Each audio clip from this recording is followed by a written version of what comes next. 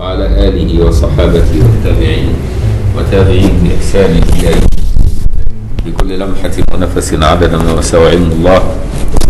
اللهم وفقنا يا رب وسائر المسلمين لما تحب وترضى. واكفنا وسائر المسلمين يا رب العالمين من كل سوء يا أرحم الراحمين. في أمور ديننا ودنيانا وأنفسنا وأهلينا وأمتنا وبلادنا وسائر المسلمين يا رب العالمين. اقبلنا إليك غير مفتونين علمنا ما ينفعنا وانفعنا بما علمتنا وزدنا علما ونسألك حسن الخواتيم في أمورنا كلها يا رب العالمين. برحمتك يا أرحم الراحمين. أما بعد نكمل قراءة وشرح حاشية الشيخ إبراهيم البيجوري على متن على شرح ابن قاسم الغزي على متن الغاية والتقريب للقاضي أحمد أبي شجاع الأصفهاني في فقه السادة الشافعية رحمهم الله تعالى ونفعنا الله بعلومهم وعلوم مشايخهم وتلامذتهم وقراء مصنفاتهم في الدارين. آمين.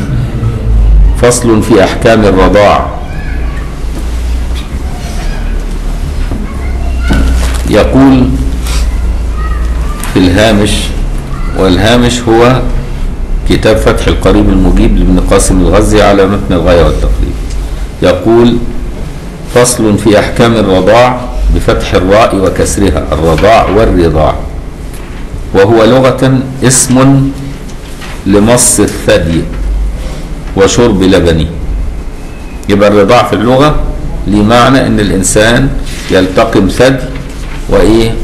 ويمتص لبن أما في الشرع فمعناه أوسع. وده نادر. تملي المعنى الشرعي أخص من المعنى اللغوي. إلا في الرضاع المعنى الشرعي أوسع من المعنى اللغوي.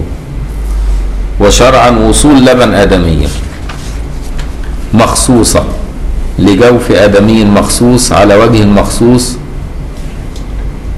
يعني وصوله بأي صورة. ولو حتى جمعته في إناء وشربه. أو ساعات الطفل يدخل مثلا الحضانة بعد ما يتولد.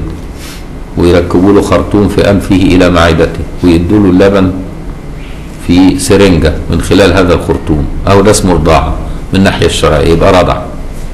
ويبقى اللبن الذي أخذه إن كان لبن آدمية يثبت لها حكم الرضاع. إن توفر العدد عند الشافعية وهو خمس رضعات وعند الأحناف والمالكية يقولون مجرد وصول اللبن للجوف ده يحرم. مجرد وصوله ولو قطرة يكفي في التحريم.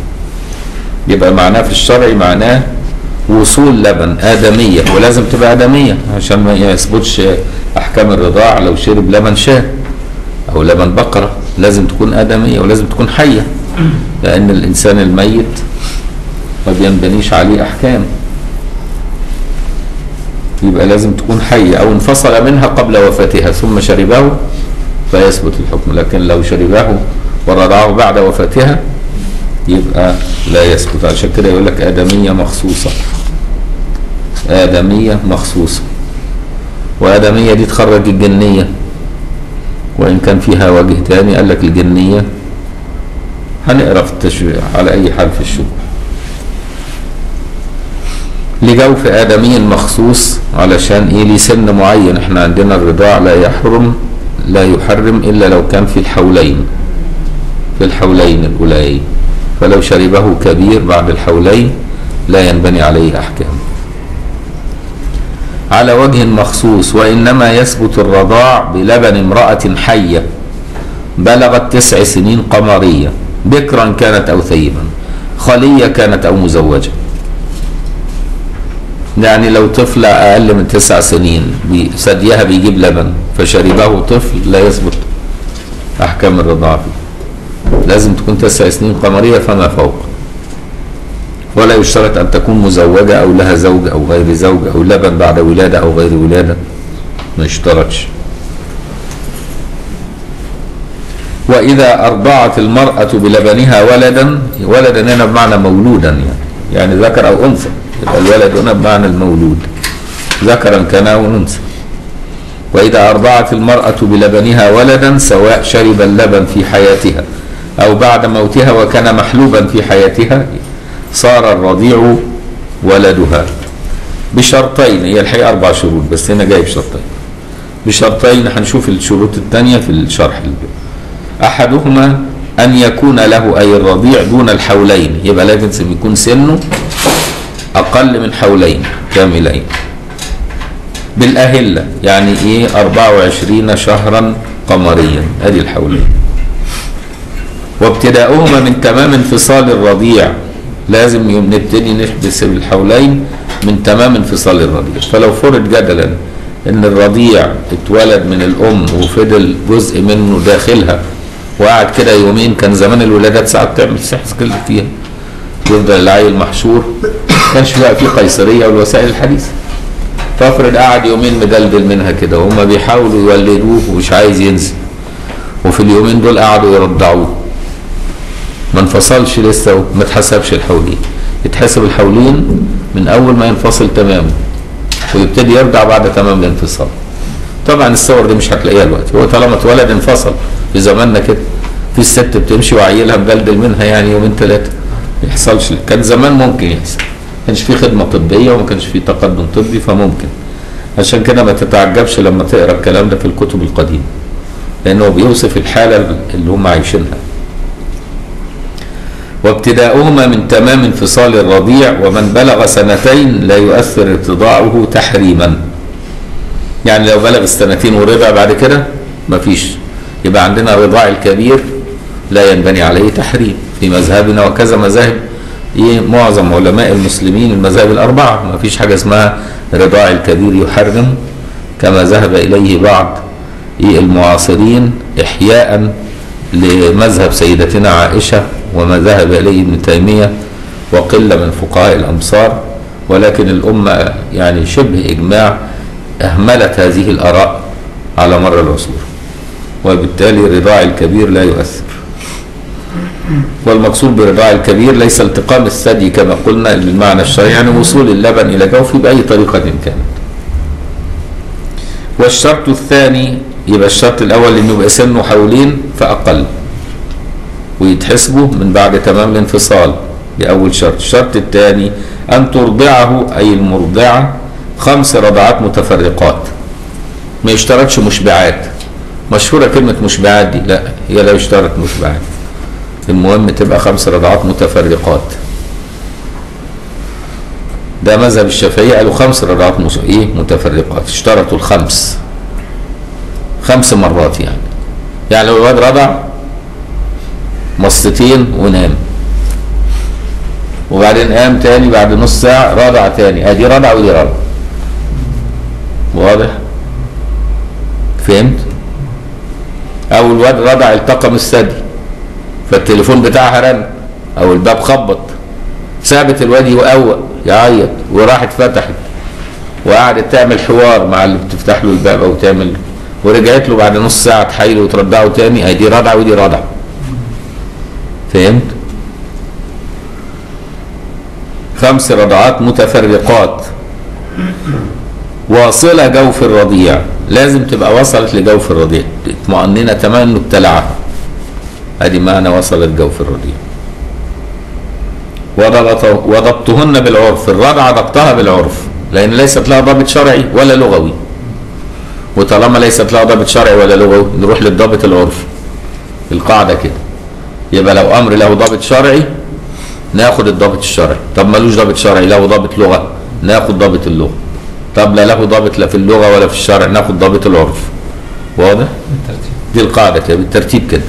يقدم الضابط الشرعي فاللغوي ثم في آخر حاجة إن لم يكن هناك ضابط شرعي أو لغوي يبقى عرفي. وعشان كده الإمام الشافعي قال لك العادة محكمة في الضوابط العرفية. ودي رجعنا لها رجعنا لها في إيه؟ في أقل الحيض وأكثر وأقل الطهر وأكثر الطهر وقدر النفقة والسكنة. كل دي أمور ليست لها ضابط لا شرعي ولا ضابط عرفي ولا ضابط لغوي ولكن إيه؟ نرجع إليها للعرف. وضبطهن بالعرف فما قضى فما قضي بكونه رضعة أو رضعات اعتبر. وإلا فلا. فلو قطع الرضيع الارتضاع بين كل من الخمس إعراضا عن الثدي تعدد الارتضاع. ويصير بعد كده هي هتبقى أم من الرضاع. خلاص؟ زوجها بقى اللي هو سبب اللبن يصير زوجها أي المرضعة أبا له أي الرضيع. ويسموه لبن الفحل القضية دي يسموها إيه في الفقه؟ لبن الفحل. يبقى هي أم من الرضاع وسبب حملها بس بشرط يكون الحمل ده حمل بعقد شرعي ولو فيه شبهة ولو حتى وطء شبهة لكن زنا ما ينفعش. الزنا يثبت إيه؟ لو اللبن اللي جاي ده بسبب حمل زنا يثبت أميتها للرضاء لمن أرضعته ولكن لا يثبت له أبا في الرضاع واضح؟ يبقى لازم إيه؟ نعرف حكاية لبن الفحل دي لأنها بتغيب عن كثير من الناس. ويصير زوجها أي المرضعه أبا له أي الرضيع ويحرم على المرضع اللي هو الرضيع. كان أحلى يقول الرضيع لكن ما يجراش ويحرم على المرضع التزويج إليها أي المرضعه وإلى كل من ناسبها أي انتسب إليها. افرض ارضعته وهي كان عندها 12 سنة والواد كبر كده وبقى عريس وهي عايزه تتجوز. ما ينفعش تتجوزها لانها ام من الرضاعه واضح؟ يبقى لا يجوز إن هو يتزوجها ولا يتزوج لا فروعها ولا أصولها ولا حواشيها يعني إخواتها يعني. لأن أخواتها يبقوا خالاته في الرضاعة برضه. واضح؟ ولا عمتها. يبقى إيه؟ ويحرم على المرضع التزويج إليها أي المرضع وإلى كل من ناسبها اي انتسب إليها بنسب أو رضاع. ويحرم عليها أي المرضعه التزويج إلى المرضع وولده. بالنسبة ليها هي من جهتها هي لا يجوز إنها تتزوج المرضع وفروعه. واخد بالك؟ الرضيع يعني وفروعه. لكن أصوله ممكن. ممكن تتجوز أبو الرضيع. أبو ابنها من الرضاعه مش, مش مشكلة. عم ابنها من الرضاعه مش مشكله إخ أخو ابنها من الرضاعه مش مش مش مهم ما يجراش حاجة. يعني خد بالك إن من الرضيع الرضيع يحرم عليه الأم وأصولها وفروعها وحواشيها. لكن المرضعة يحرم عليها بالنسبة لابنها الرضيع هو وفروعه بس. خد بالك من الحتة دي. تغيب على كثير من الناس. فهمت؟ مهمة الحتة دي. يعني هي ممكن تتزوج عم ابنها من الرضاعه لكن هو ما ينفعش يتجوز عمته من الرضاعه فهمت إزاي؟ عشان كده بيقول ويحرم عليها أي المرضع التزويج إلى المرضع وولده. ما قالكش بقى كل من نسبها؟ فهمت بقى إزاي؟ وإن سفل. ومن انتسب إليه وإن علا هي حقها وإن سفل لأن إيه لأن علا هنا؟ هتوحي بان الأجداد والآباء كمان حرموا لا هي خطأ. يبدو انها سبق قلم. هي حقها وإن سفل دون من كان من درجات في درجته. يعني الرضيع. يعني اللي في درجته إخواته. اللي ما رضعوش منها تتجوزهم مش مشكلة. ليه أخ كبير كده ما رضعش منها؟ تتزوجه مش مشكلة. واضح؟ وهو ده في درجته. ده إخوات في طبقة واحدة. رضعت ده وما رضعتش ده. تتزوج اللي ما رضعتوش ولا تتزوج اللي ارضعته واضح؟ دون من كان في درجته أي الرضيع كإخوته الذين لم يرضعوا معه أو أعلى أي ودون من كان أعلى طبقة منه. أي الرضيع يعني أعمام الرضيع. دول أعلى طبقة. وتقدم في فصل محرمات النكاح ما يحرم بالنسب والرضاعة مفصلا. فارجع إليه لأن الكلام ده فيه نوع من التكرار لأن إحنا قلناه قبل كده في المحرمات بالرضاعة في أبواب في باب النكاح. نشوف كلام الشيخ البيجوري لأنه ساعات بيفتح مواضيع أخرى متعلقة بالموضوع. فصل في أحكام الرضاع أو الرضاعة يجوز الكسر والفتح كما قلت. أي كصيرورة الرضيع ولد المرضعة. أو المرضعة. المرضعة تنفع والمرضعة تنفع تنفع بفتح الضاد لأن أنا خليتها ترضع فبقت مرضعة. أو مرضعة لأن هي نفسها اللي بترضع يعني يجوز فيها اسم الفاعل واسم المفعول الاثنين بمعنى مرضعة ومرضعة. أي كصير و... كصيرورة الرضيع ولد المرضعة والأصل فيه يعني الدليل فيه قوله تعالى وأمهاتكم اللاتي أرضعنكم وأخواتكم من الرضاعة. وخبر الصحيحين. يبقى يجيب لك إيه؟ الدليل من القرآن والسنة. وبعدين الإجماع. ترتيب كده. وخبر الصحيحين يحرم من الرضاع ما يحرم من النسب. وخبر لا رضاع إلا ما كان في الحولين. وسبب تحريمه اللي هي العلة. سبب التحريم غير العلة. سبب التحريم نوع حكمة. والحكمة غير منضبطة. واضح؟ لكن العلة تبقى إيه؟ وصف منضبط. فالأسباب ال ال يعني لا تأخذ حكم العلل ولكن تأخذ حكم الحكمة. وسبب تحريمه أن لبن المرضعة يشبه منيها يشبه منيها في النسب. وقد صار جزءا من الرضيع ويؤثر تحريم النكاح ابتداء خد بالك إن سبب التحريم ده مش شرط إنك تقتنع بيه. تقتنع بيه ما تقتنعش بيه ما تفرقش الحكم ثابت. فهمت بقى؟ السبب ده تعليل فقهاء. ده كلام فقهاء مش شرع شريف. ولا معصوم من الخطأ قد يدخله الخطأ. واضح؟ فدي نقطة مهمة. يعني ممكن واحد لك إيه ده؟ يقول على اللبن مني. أنا مش موافق على الحته ما يجراش ما توافقش. بس برضه يحرم من الرضاعة ما يحرم من النسب فهمت بقى المسألة؟ يعني الشرط إنك أنت توافق على كل تعليل لتعليل فقهاء كل واحد بيعلل حسب ثقافة عصره. واضح؟ خصوصا ان بيعتبروا إن اللبن ده بينزل بسبب الحمل والحمل سببه المني. وبالتالي ده امتداد للمني فله حكم المني. واضح إزاي؟ لكن مش هو نفسه مني. عشان ما تقولش ده الفقهاء بيقولوا إن اللبن ده مني لا له حكمه يعني. يعني سبب خروج اللبن هو نفس سبب خروج المني. خروج المني يؤدي إلى الحمل والحمل يؤدي إلى الرضاعه واضح؟ وإن كان ده ليس عادة مستقرة لأن في نساء بيبقى ثديها في لبن وهي غير متزوجة بسبب اضطراب هرموني بقى. واخد بالك؟ يبقى دي حاجة تانية. ده لدرجة إن في رجالة بيبقى ثديهم في لبن بيجي لنا بعض الرجالة كده. عنده اضطراب هرموني تلاقيه يقول لك أنا بينزل لبن من حلبة ثديه طب افرض رضع الواد من لبنه ده ما ينبنيش عليه حكم لأنه اشترط إن اللي ينبني عليه حكم الرضاعه يبقى امرأة. لكن لو الراجل ده رضع ابنه مثلا وهو مريض بينزل لبن من ثديه بسبب مرض والواد بيعيط وأمه مشغولة فقعد ابني ارضع ما ينبنيش عليه حكم لأنه يشترط عشان ينبني عليه حكم تبقى إيه؟ امرأة.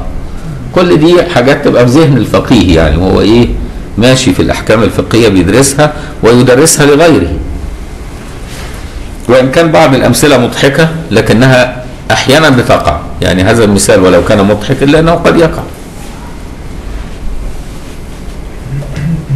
وسبب تحريمه أن لبن المرضعه يشبه منيها في النسب وقد صار جزءا من الرضيع. ليه؟ لأنه إيه؟ الرسول صلى الله عليه وسلم بيقول إيه ما أنشز العظم وإيه؟ وأنبت اللحم.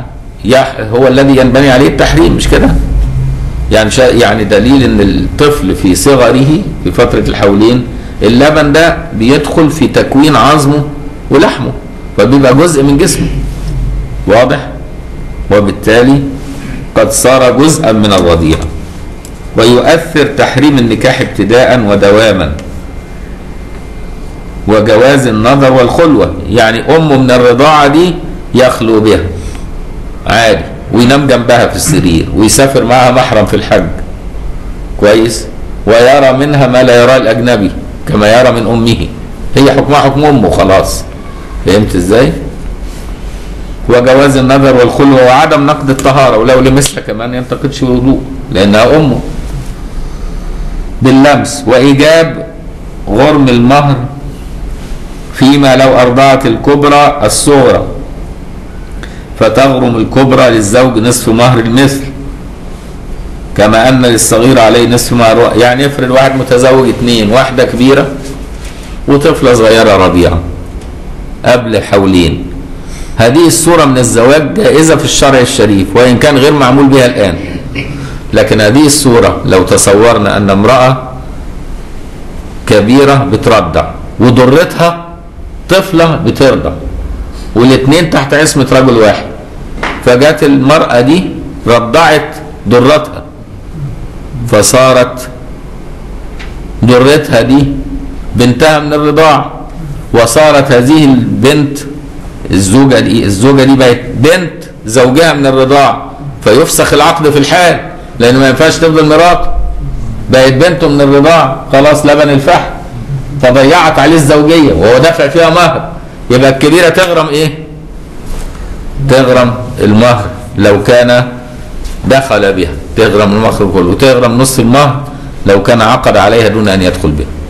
واضح؟ والدخول هنا مش شرط بمعنى إيه ال- يعني الجماع لأن لا يتصور جماع الدخول هنا بمعنى إنها صارت في بيته تنام في حجرته معه ينفق عليها. وجبت النفقه واخد بالك؟ لكن لا يتصور الدخول بالمعنى ال- المعروف اللي هو الجماع يعني. فعايز يقول لك بعض الأمثلة يعني. وإيجاب غرم المهر. هنا هتغرم مين؟ الكبيرة. تغرم مهر لأنها ضيعت على زوجها. آه، زواجه بالطفلة الصغيرة دي خلتها